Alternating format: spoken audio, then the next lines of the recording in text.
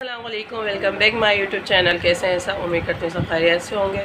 सो so guys मैं अपनी सांस क्या थी और ये हसन साहब सुबह उठते के साथ ही नाश्ता ही कर रहे थे। तो ये, इनको अपने पप्पो के घर आना है, क्योंकि यहाँ पर ट्वाइस होते हैं और बच्चे स्कूल गए हुए हैं और अंदर ये क्या कहते हैं, खाना वगैरह बनाती हैं और फिर जो शॉप्स वगैरह होती हैं जिनको मंगवाना होता है वो इनको ऑर्डर देते हैं।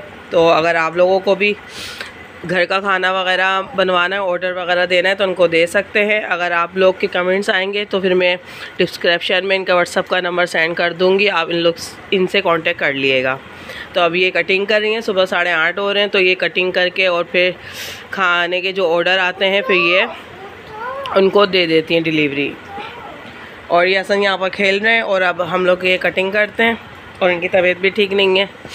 तो बच्चे स्कूल गए हुए अब ये कटिंग करके जल्दी से ये बनाएँगी और फिर जब बच्चे आते हैं, फिर आप लोगों से मिलते हैं हसन बोल दें लाइक करें।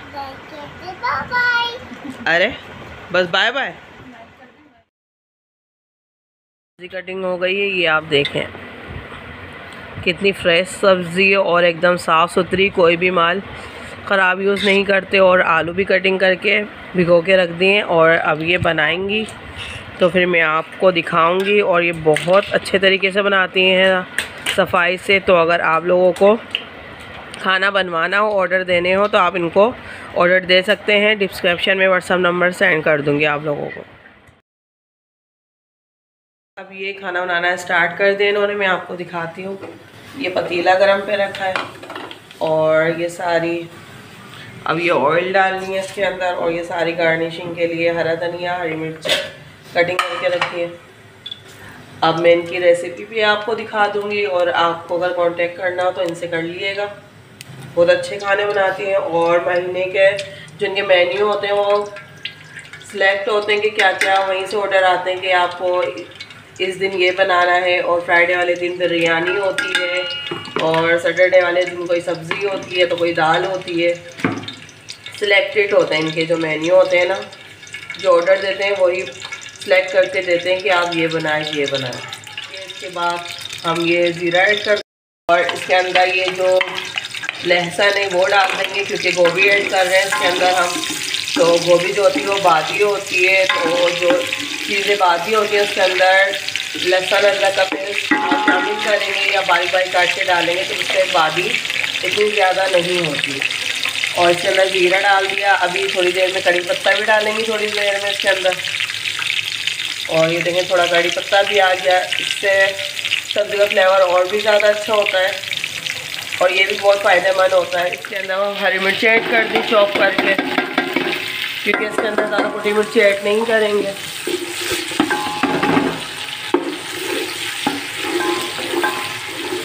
और फिर इसके बाद ये टमाटर ऐड करेंगी। और पहले ये गरम हो जाए थोड़ा। गरम सॉरी ये प्याज फ्राई हो जाए और फिर इसके बाद ये टमाटर डालेंगे, फिर उसके बाद सारे मसाले डालेंगे। ये देखें, ये थोड़ी सी फ्राई हो गई प्याज के बाद हमने टमाटर ऐड कर दिए। प्याज को ज़्यादा फ्राई नहीं करना, वरना सब्ज़ी काली हो जाती है। और हम टमाटर भूनेंगे, फिर उसके बाद मसाले ऐड कर देंगे।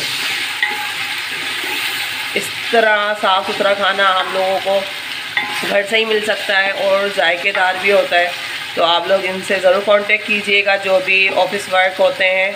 तो चाहते हैं कि घर का खाना खाना चाहते हैं तो इनसे आप कांटेक्ट करके इनसे बात कर लीजिएगा फिर अपना ऑर्डर दे दिएगा इनको। वेजिटेबल्स भी इसको वॉश करके अच्छे तरीके से। पानी इसका छन रहा है, एकदम फ्रेश और देख लें कोई भी ख़राब नहीं है। बेस्ट क्वालिटी की आपको मिलेगी वेजिटेबल्स वगैरह, हर चीज़। ये मसाला, ये सब्ज़ी मसाला है, इसके अंदर ये ऐड कर दिया। मसाला डालने के बाद इसके अंदर वन टेबल स्पून हमने हल्दी पाउडर ऐड कर दिया। और इसके अंदर हम थोड़ा पानी ऐड करेंगे ताकि मसाला लगे ना। और अभी ये हमने पिसी मिर्च ऐड कर दी वन टेबल स्पून और थोड़ा सा पानी ऐड करेंगे ताकि ये जो मसाला पतीले में लग रहा है वो लगे नहीं और हमारा मसाला भी अच्छे से जस्ट हो जाए।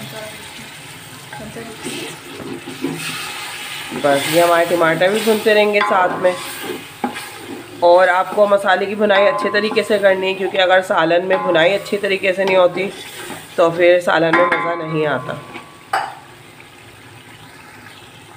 देखें, किचन भी एकदम साफ़ सुथरा आपको मिलेगा। ये नहीं कि गंदे किचन हो रहे हैं, और ये सब्ज़ी, और ये देखें, आलू ये भी भिगो के रखेंगे, ये भी बेस्ट क्वालिटी के। ये नहीं कि ख़राब, दागी वगैरह डाल रहे हैं।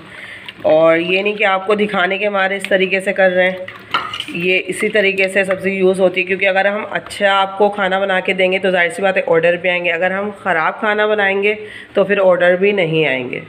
तो इस वजह से जो भी घर में कुकिंग वगैरह कर रहा है तो वो बेस्ट अपना देगा कि आपको अच्छी से अच्छी क्वालिटी का खाना बना के देगा ताकि आप लोगों के ज़्यादा अच्छे से अच्छे ऑर्डर आएँ। और अभी हमने ये टमाटर वगैरह मसाला वगैरह डाल के कवर करके रख दिया है।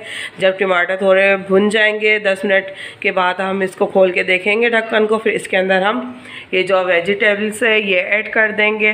फिर आलू जब ये थोड़ी सब्ज़ियाँ भुन जाएँगी आलू बाद में भुन चुके हैं और इसके बाद हम ये देखें सब्ज़ी डाल दी इसके अंदर।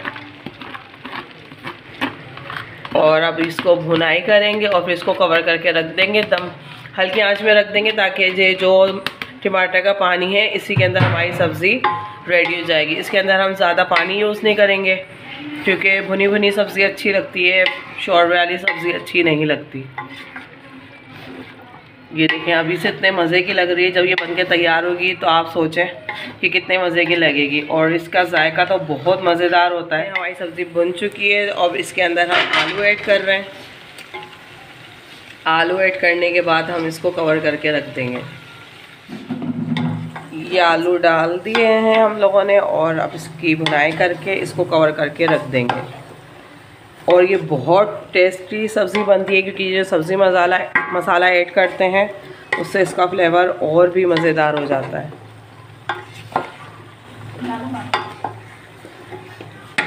ये देख सकते हैं हमारी मज़ेदार, मसालेदार वेजिटेबल्स मिक्स वेजिटेबल्स रेडी हो चुकी है।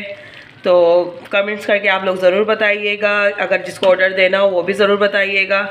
और मेरी वीडियो को लाइक करें सब्सक्राइब करें और प्लीज़ पूरा वॉच किया करें। अपना बहुत सारा ख्याल रखिएगा दुआ में याद रखिएगा। मिलते हैं नई वीडियो के साथ। मुझे दें इजाज़त। अल्लाह हाफिज़।